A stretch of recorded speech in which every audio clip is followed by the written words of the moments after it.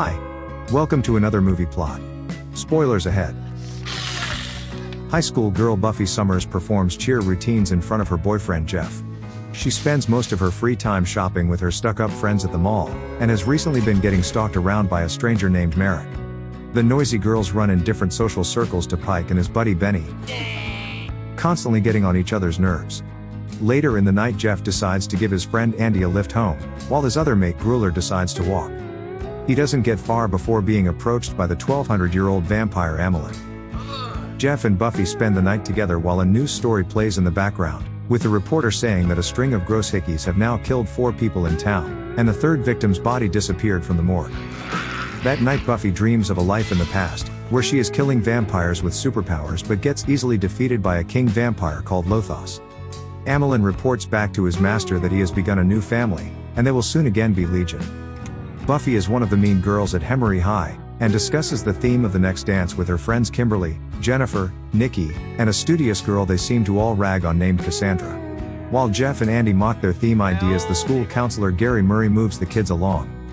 That night at a bar that serves coffee to minors, the girls have a run in with Pike and Benny again, where the boys share a hot dog and discuss how much they hate each other. Before Buffy wastes Benny's wiener. When the two friends leave the bar and stumble home drunk, they stop for a little rest, but Amilyn shows up and takes Benny.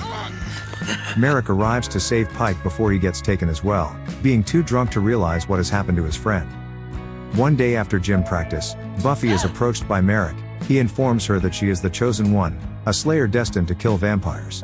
Asking her to come to a graveyard with him to prove it she naturally isn't very trusting. No. Initially thinking he has just passed his medication, she is convinced when he is able to describe her dream in detail. I will show you. Merrick takes her to the cemetery, where the two go to the grave of a recently deceased and he hands Buffy a wooden stake.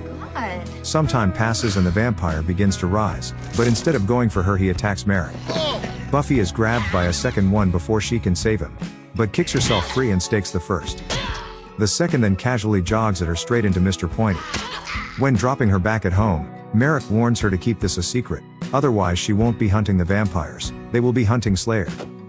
That night Pike receives a visit from the now turned Benny, who begs him to invite him in, saying that he is hungry. I'm hungry! The half-cut Pike tells him to leave, as he doesn't know he is a vampire but doesn't trust people who can float. Come on, man, get away from here! While again Lothos projects himself into the Slayer's dreams. After studying late Cassandra gets taken by Amilyn, and offered up as a sacrifice for his master to sire. The next day in the girls' locker room Merrick shows up, Buffy warns him that it is a naked place but he insists on beginning training. Years of training. She repeatedly tries his patience with her frivolous nature and indifference to slaying, so he throws a knife at her head to show her potential. Bravo. Angry at him due to almost murdering her, she punches him in the face. Enjoying the feeling so she decides to train.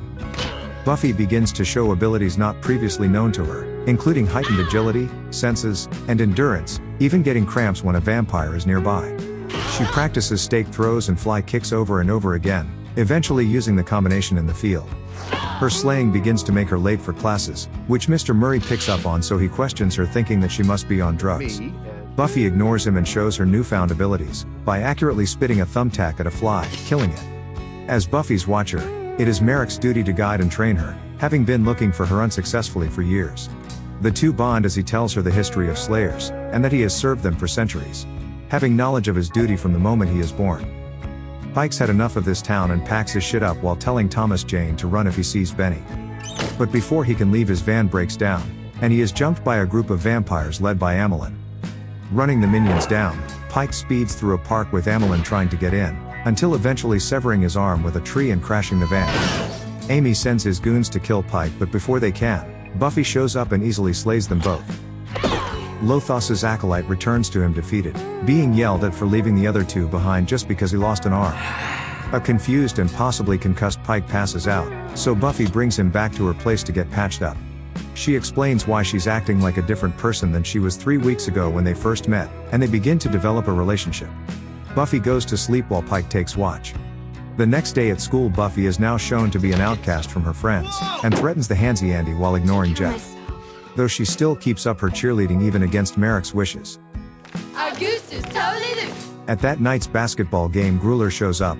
Go, team, go. Having been turned into a vampire, he starts winning easily for Hemery High, even floating in public and revealing himself to Buffy. After Ben Affleck hands him the ball, Buffy decides to attack.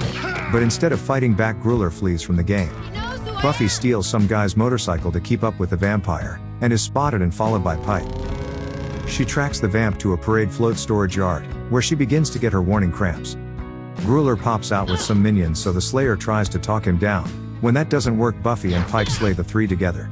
With Pike staking one, Buffy staking another, and another dying from Buffy scissoring the back of its head, before having another brief moment with Pike. When the pair come up upon Lothos he begins to hypnotize Buffy, while the unaffected Pike is confronted by his lefty rival Amilyn. Merrick arrives in the nick of time to save them, but has his own stake reversed on him by Lothos, snapping Buffy out of her dream state but slowly dying, as Lothos and Amilyn leave Buffy to stew.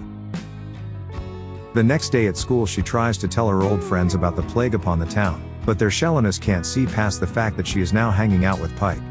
Buffy feeling responsible for Merrick's death, since she couldn't lift a finger against Lothos, resigns from slaying and goes back to dress shopping for the dance. Buffy? But a stalking Benny overhears her argument with Pike, and word gets back to Lothos that Buffy is the Slayer.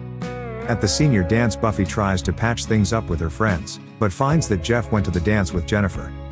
As a result Buffy is all by herself without a dance partner, however Pike shows up looking dapper and asks her to cut a rug. While the two begin kissing, minions of Lothos begin smashing the windows, having been invited to the party by Kimberly since they're all seniors. They tell Buffy to come outside, or else they will come in and kill all the students, so she takes some stakes from Pike's bag and heads out alone, with Mr. Murray's detention threats meaning nothing. I'm not afraid to use them. Buffy confronts the vampires outside performing kick after kick, but eventually becomes overwhelmed and runs past Jeff who's getting his Jenny on. Amilyn tells the others to stay back while he goes for the Slayer himself, and the minions begin tearing the dance apart while some students try to fight back. After Nikki gets taken by a bloodsucker, Pike sees some success in fighting until coming face to face with vampiric Benny, Come on, like a man. who throws him around the room trying to convince him to join him in immortality. When going to bite him Pike throws holy water in his face, then slams him against a power box electrocuting him. Buffy is blindsided by Amilyn and runs away, but when he begins to attack her with his one arm, she easily dodges everything he throws at her. Suddenly Lothos arrives playing violin, not to help Amilyn, but to play him off as Buffy stakes him. Leading Amilyn to have the most dramatic death in cinema. Lothos hypnotizes Buffy again, but the dance music stops thanks to Benny, and the silence snaps her out of her trance. Please. She tries a cross on Lothos but he ignites it, so she uses hairspray to set him on fire and escapes back to the gym. Kimberly sees Buffy and gets hysterical, so Mr. Murray having handed out detentions knocks her out.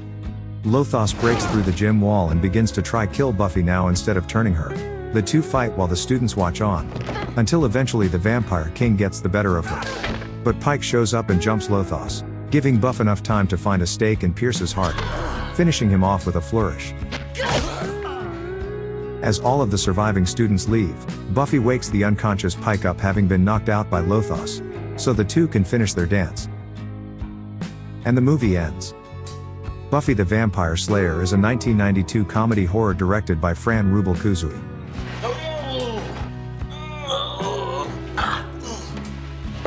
The film took a different direction than its writer Joss Whedon intended, rectifying the issues five years later with the television series of the same name, Buffy. Yeah, figures. in which Buffy starts the series at Sunnydale High, having been expelled from her former school for burning down the gymnasium. Remember? In the Buffy origin comic, Merrick killed himself to escape being turned by Lothos. Are you addressing I? Both actors Donald Sutherland and Rutger Hauer appeared in Salem's Lot 12 years later as servant and master. Detention, detention, detention. Detention, detention. I think that's all of them. Nope. Thank you for watching. Subscribe for more.